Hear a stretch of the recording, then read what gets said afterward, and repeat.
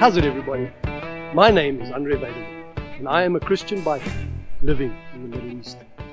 My mission is to disciple men to have a daily word and prayer time and to inspire you to return to the old school values of honor, respect, loyalty, chivalry, and love.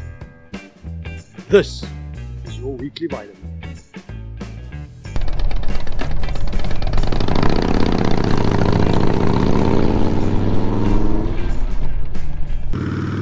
How's it, everybody? Today I've got a new setup because uh, I had a helmet malfunction last week or two days ago. And my old helmet, it's a HJC that I bought when I bought the motorbike. it's 10 years old, so it's probably time to replace it in any case.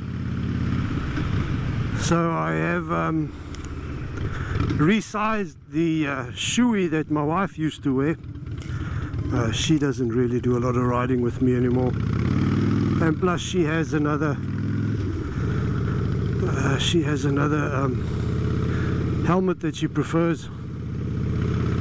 So I've changed all the insides of the Shoei. I have to say it's a lot quieter than the HJC.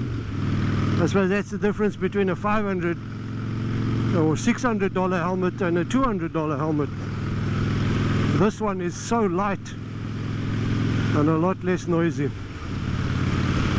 Anyway so I'm trying a uh, the, the upshot of it is that I don't have a helmet mount ready for this helmet yet.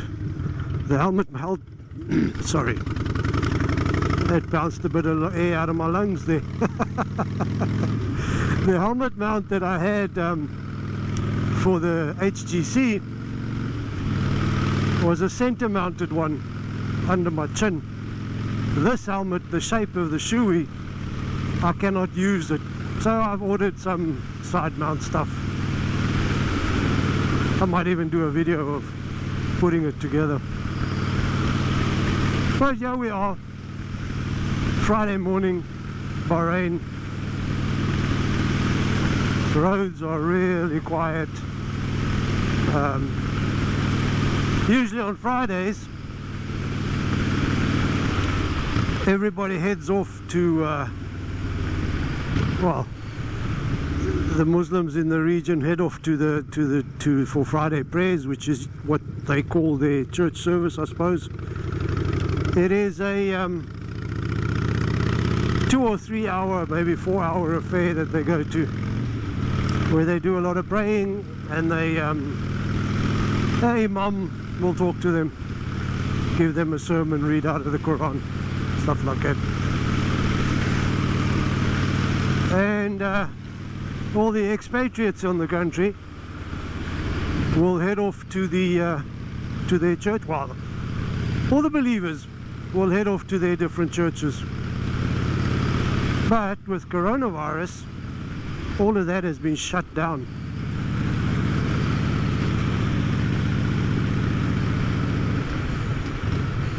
So, no gatherings of over, I think 10 people, maybe five, I'm not sure. All the churches on the island have been told to cease and desist. All the, all the mosques have been told to stop gathering so the roads are quiet. Now I know there's a lot of Christians out there, you know, there's a lot of people out there that's saying, oh, why, why close this down? Why stop gatherings? We should be believing that the Lord uh, will protect us from this stuff. But you know, I, I, I think they're misunderstanding what the Lord said in the Bible about this. God, God, God can protect us from anything. I mean, we can pick up snakes and they won't bite us if that is God's will. But God has also said, use your brains. Like I said in my, week, in my video last week, our faith is a reasoned faith. It's not a blind and irrational faith. Can we do things in the power of the Spirit? Oh, for sure. If we had the faith, we could move mountains. But then you've got to ask yourself, and I often, when I read that passage, I ask myself, if I had faith to move a mountain, why would I want to move that mountain? Uh, God's put that mountain there. Why would I want to move it? And, and, and you know, we can all talk about spiritual mountains in our lives, and yes, that is true. But we got to use our brains. You know, God gave us, He gave us minds to think with. We need to use them. We need to use our common sense. I'm a biker.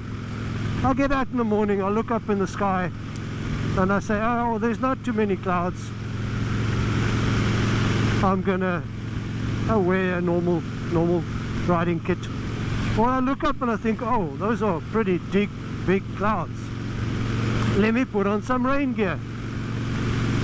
I'm also a Christian biker. So I don't look up at those clouds and say, hmm, I'm going to wear just my normal kit and I'm going to pray that rain away. I could do that. I could really do that. I, I firmly believe we can pray good weather over ourselves and but if I pray the rain away, there's going to be some piece of land, there's going to be some orchard that needs rain at that moment. And yeah, I'm selfishly praying it away. Do you think God's going to allow that?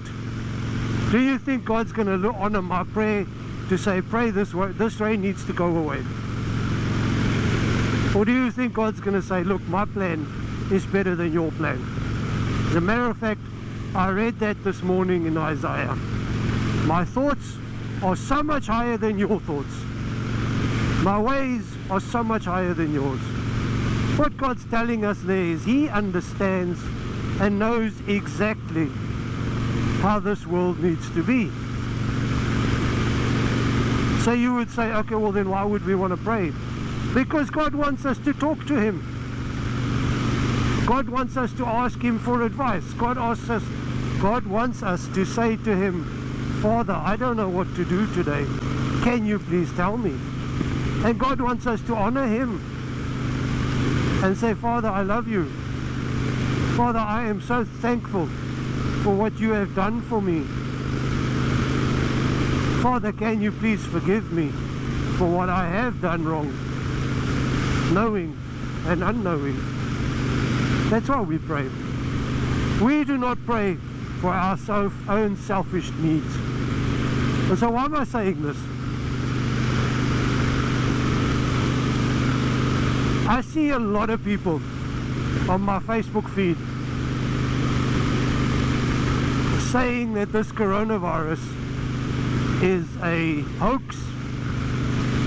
It's I even saw a video where a man was quite honestly trying to tell me that the 5G network of the cellular, uh, the new 5G technology is causing the coronavirus. I mean, seriously, I've got to believe that. You have people believing that nonsense and not believing that there is a loving, gracious creator of the world? Come on, people. We've got to use our brains. Got to use our common sense. Are there people in this world with uh, nefarious evil plans? Yes, for sure. The Bible tells us that. Are these people trying to use the current coronavirus to their own uh, evil needs, designs? yes, for sure. I believe that. The evil in a man's heart is bottomless. There are a lot of people out there that will do all kinds of things. This person that I was watching on the 5G, I am very sure that he was trying to scam money somehow. So, as a Christian, I look at that and I think, yeah, no, God gave me a brain to think for myself. I'll do some research, but That's not that's not what I mean the virus is not being caused by some radio waves running through your body. Come on. And then there's all kinds of other things people are believing and spouting without just thinking about it. What are we doing? Are we so panicked about death that we are trying to find all kinds of evil reasons for this? You know what I think? You know what I feel in my bones and in my spirit? God has pushed pause on the world. He said to you, said to, he's saying to us all, what is important to you? Is your life so important? You know what? The Bible talks about idolatry. And if I count my life more important than God, my life is idolatry. But that does not mean I go out and do crazy, stupid things. I'm riding a motorbike now. It's a, it's a dangerous thing to do. I love doing it because it connects me to my environment so much more than a car does. But do I do this stupidly? No. I'm riding a good pair of strong armored boots on. I got a good pair of strong armored jeans on. I have a, uh, a ventilated Gore-Tex jacket on that has got elbow guards, shoulder pads and a spine protector. I am wearing a full face helmet. Now there's a lot of people that ride that will argue about wearing helmets. I used to wear a little brain pan. Now I wear a full face because I want to talk to you guys. I can't do that in an open face brain pan. But I am wearing protective gear. I have got stuff on and I believe in, this, in the maxim that says dress for the slide, not the ride. Because if I come off this thing, I want to have a little bit of protection between me and the ground. And that's what we're doing with this coronavirus. Social distancing is not some evil plan. It is our protective gear against an invisible enemy. It is our protected. It is us just saying, I'm dressing for the slide and not the ride.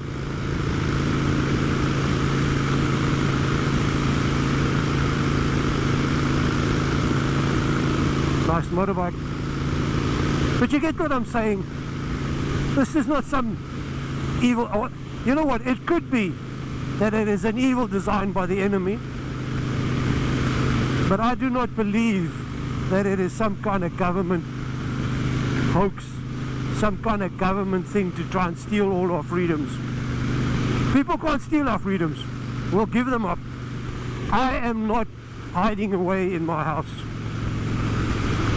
I am self-isolating myself to protect my wife, my mother, my family from the virus. I am protecting the old people and the people in my life that I dearly love that have precondition, pre, pre-existing conditions. I've got a friend, man. I've known this guy for 30 odd years. He is as close to me as my blood is. He had a triple heart bypass a couple of years ago. He's at risk. Do I miss meeting with him? Of course I do. Uh, I bet I talk to him on the phone, I talk to him on Facebook, I talk to him on a, on a, on a video chat. I talk to my club brothers as often as I can on video. But I miss them. But I am quite happy to take a few hours out of my, or few months, weeks, months out of my life to make sure that I am not carrying some invisible virus to them that's going to kill them. How do I live myself? How do I live with myself if I do that? How are you doing, buddy, Paddy? Paddy's uh, another friend of mine on the island called Paddy Behan. Crazy Irishman. Anyway, where was I? Ah. I am self isolating. I am keeping my social distance to protect the people I love. It is my choice that I'm making freely. And you know, the Bible also talks about us having to listen to the government because it is set there by God. So, the only time I will argue with the government, or only time I will resist, is if I, if some of their are, their commands are coming against what the Bible is telling him. That's why I'm so much against abortion. Just because it's legal does not mean it's moral. So those are the the, the, the, the, the that's the battle I will take up. Abortion and same-sex marriage. I'm sorry to say this. Uh, th- uh, I'm unfollow me if you don't like what I'm about to say, but same-sex marriage is wrong. I will resist that from the government. I will not let anybody force me to officiate in such things. And I will never be able to say, yes, I agree with it. Do, do, does that mean I hate gay people? No. It means I love them enough to want them to see the truth. Does that mean I'm going to go out and bash them all the time? No. I will openly accept them. I will, I will hug them. I will befriend them. But I'm, you know, I, I, don't hate people. I, this is the thing. Once you become a Christian, once you start getting to know the Lord this this well, there's no room in your heart for love anymore, uh, for hate anymore. Sorry. there's no more room in my heart for hate. I cannot hate. I cannot even hate my enemies. but what I can hate and what I can stand against as strongly as I, as I am able to is sin. I hate sin. I hate sin in myself and I hate sin in other people. But I digress. I was.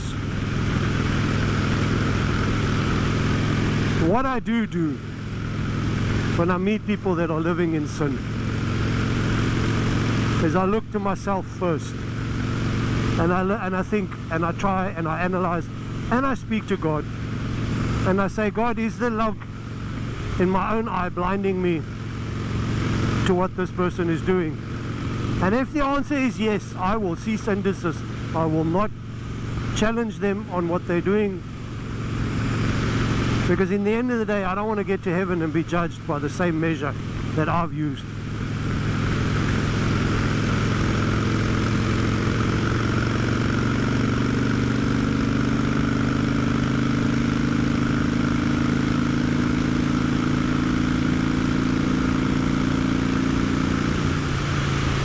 So, to recap,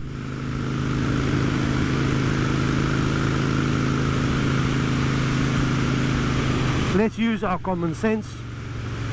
Let's not lend our ears out to all kinds of uh, conspiracy theories.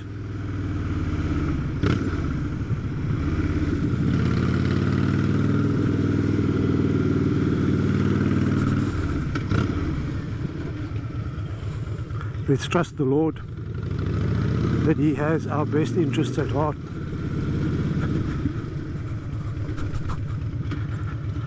Let's have faith in Him, but let's use our common sense in all things. Vitamin out.